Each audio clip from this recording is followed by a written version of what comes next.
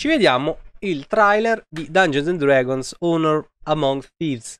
Ce l'ha i sottotitoli in italiano? Spero di sì.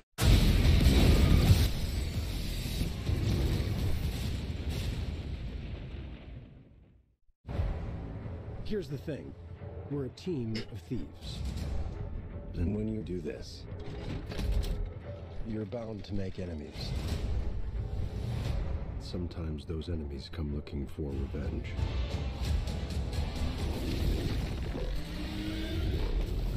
Bella la CGI.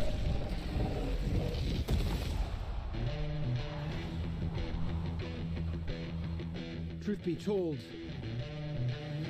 we help the wrong person steal the wrong thing. Con quella cosa che succede sempre su D&D.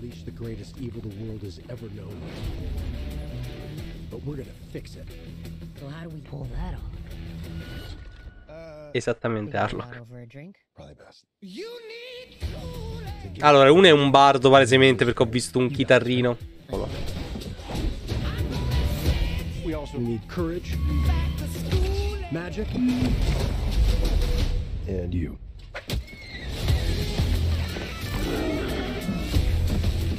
Ah, è questa la scena veramente che ha dato così tanto fastidio. Cioè, è stato veramente questo il problema: il fatto che il druido si trasformasse in un, un owl bear perché di manuale non, eh, non può. Ma sti cazzi.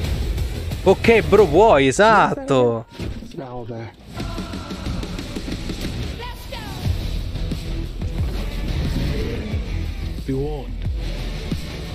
There is evil here.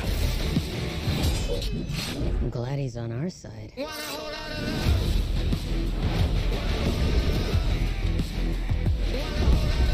This one's dangerous. Bello il mimic.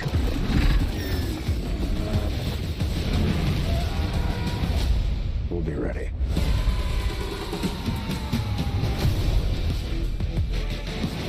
What exactly that you bring to this? I'm a planner. I make plans. You've already made the plan, so If the existing plan fails, I make a new plan. so you make plans that fail. No, He also plays the lute. not relevant. Bella questa cosa.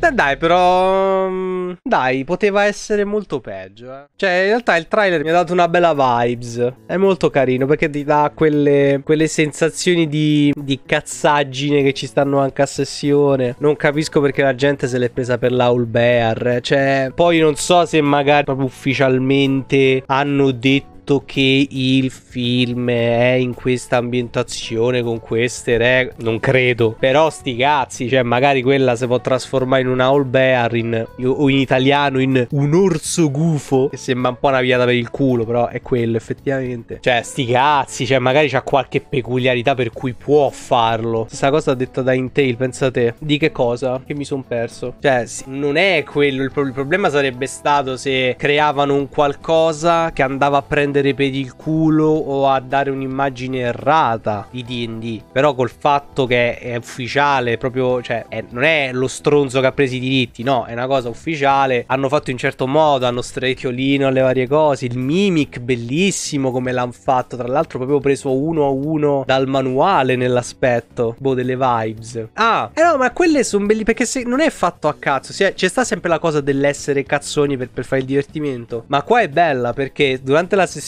tra, i- tra amici, giustamente io faccio i piani. Eh, ma se abbiamo già il piano, a che cazzo servi? È perché io in caso fallisce il piano, faccio un altro piano. Quindi fai i piani che falliscono, merda. Cioè, c'è quella cosa così che è molto bella. È molto di casa. Poi dipende come lo strutturano. Cioè, solitamente sti film tendono molto a far vedere soltanto gli addominali. Cioè, non ti fanno vedere tutto, non strutturano qualcosa per bene. Ti fanno vedere gli addominali e basta. Come è stato anche per alcuni. per il film di Warcraft, mi pare. Cioè, è bellissimo. La storia, perché è pure bello come film. Però era tipo per flexare il. Li state a vedere gli orchi di Warcraft in 3D. Ecco qua, cioè, però non facciano la stessa cosa. Lo state a vedere l- l'Owl Bear, lo state a vedere il Mimic, la magia, il drago. Perché hanno fatto vedere tutte cose da manuale base. Hanno fatto vedere pure quell'incantesimo, mi sa che era Thunderwave, palesemente. E rimane sempre la solita fatto che secondo me questa cosa l'hanno fatta apposta. Perché succede come su TikTok, perché io non so quanti di voi qui sa, lo sanno, ma su TikTok si usa una tecnica bastarda che è efficace. Non so se vi sono mai capitati i video del cazzo, quelli dei cinesi che fanno dicio- usano 18.000 aggetti loro e poi magari in un frame mettono qualcosa di sbagliatissimo.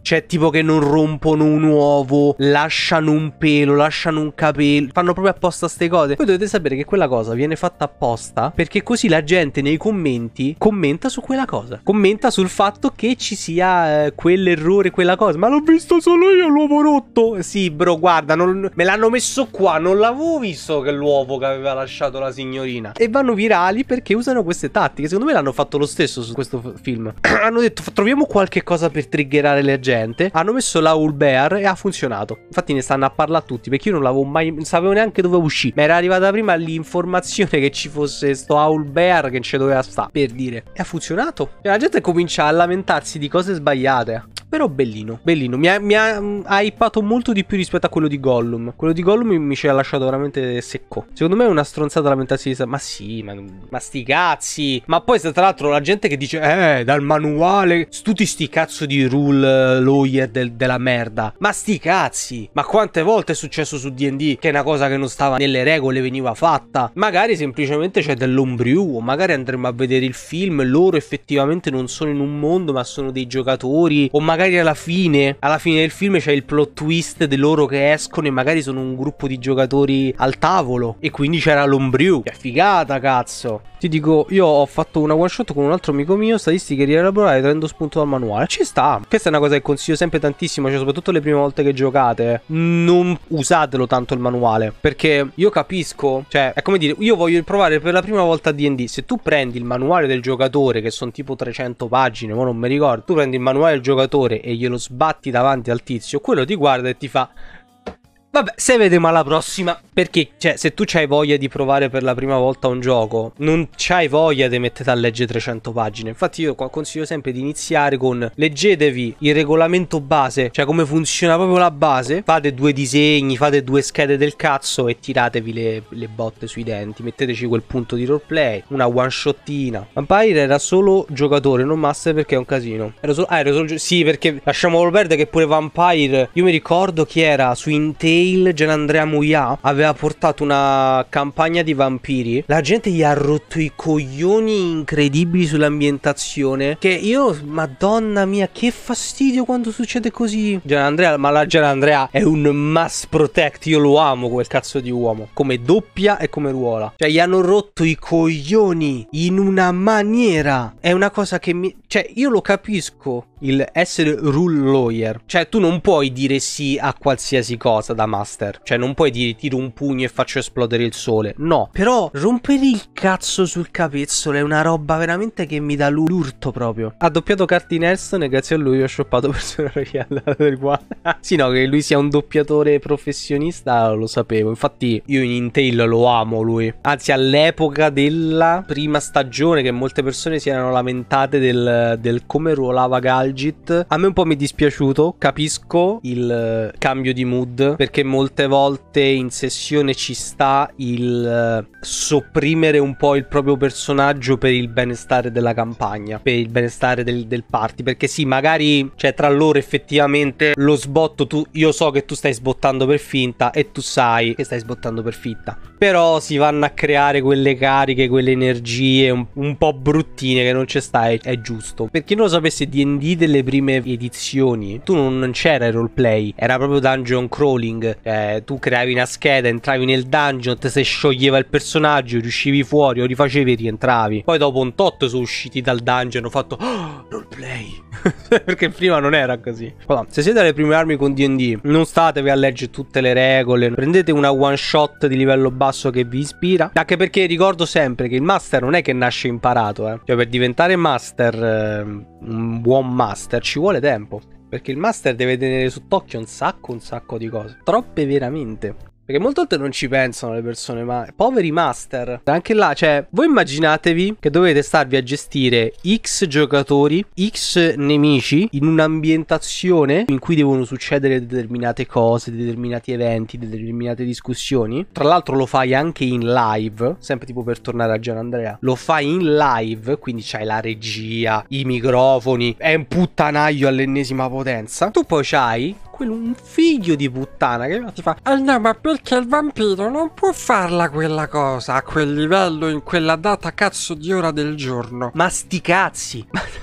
Sono io il master, Dio Cristo. Se i vampiri adesso possono camminare sotto al sole, ci camminano. Eh, vabbè, a parte che i vampiri. Non so perché non sono molto esperto di vampiri. Però, se capita l'antifona, cazzo. Che tanto era pure il motivo per cui lui poi era molto restio a fare la mini campagna sullo starter set. E poi ci ha regalato una campagna bellissima. Lo starter set di Intel, masterato da Gian Andrea, è una madonna. È una madonna. E tra l'altro lì ho visto anche un altro giocatore che adesso non mi ricordo come si chiama, che era anche lui un master, che faceva un paladino legale buono. Che faceva un paladino legale buono, mi pare, e lo ha ruolato di Cristo, perché la gente i legali buoni li ruola veramente col culo. Forse come si chiama? Manfredi, forse. Ruolava un dragonide. Sì, un dragonide paladino legale buono di Bahamut veramente bellissimo come l'ha ruolato. Perché molti tendono a ruolare i legali buoni, cioè non tanto i legali buoni,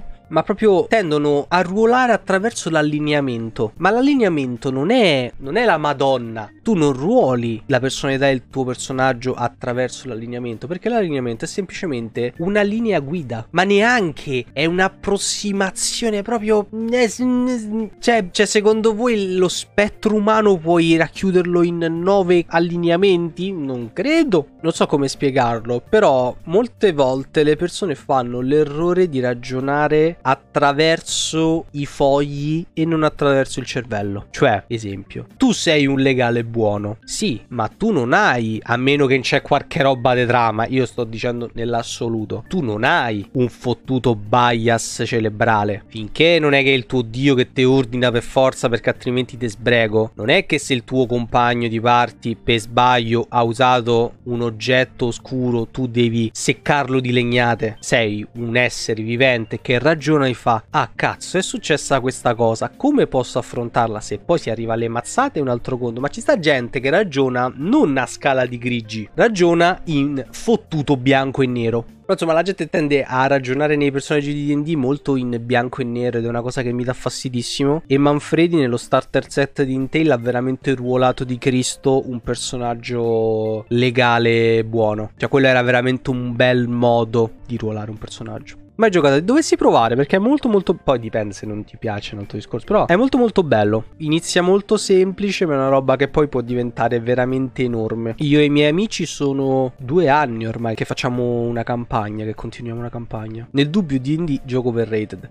No, in realtà D&D gioco underrated perché D&D... Ma D&D, il gioco di ruolo è meglio della cazzo di... dello psicologo, eh. Avevo degli amici infognatissimi di spaventare la cosa. Quello ci sta. Quello è un altro... Quello è l'esagerare perché tendo anch'io molte volte a vedere delle persone che sembrano dei fottuti maniaci sessuali che forzano le persone ad entrare in qualcosa. La gente non ha capito che finché una persona non entrerà di propria spontanea volontà o sia in un mondo, nel vedere una serie tv, leggi un man, qualsiasi cazzo di cosa, tu non ce la schiodi. Anzi, se tu forzi una persona a entrare in qualcosa in cui non è sicura, io, gliela mandi sul cazzo. No, non forzate mai compagni, amici o cose a giocare a qualcosa a cui non gli va di giocare. Perché tanto se non fate soltanto il contrario, gliela fate andare sul cazzo. Però ti consiglio di, di provarlo perché è veramente un bel gioco. Poi se ti piacciono i GDR cartacei, eh, perché se non ti piacciono quelli la vedo un po' difficile. Ma sì, ma magari vi fate una one shot, una mini campagna di una sessione, ve la fate a livello 3. Anche perché poi quando entri nel mondo te infugni. Mi piace Lovecraft? Sì, mi piace tantissimo Darkest Dungeon e anche in D&D vero e proprio. Non mi ricordo adesso come cazzo si chiama il manuale di Lovecraft. Che tanto pure Intel ci sta facendo Elevator of Madness. In Elevator of Madness sì, ci sta anche ci stanno Teresnas, Kurolili, Luca di Intel e, e quello che aveva ruolato il Dragonide nella starter set.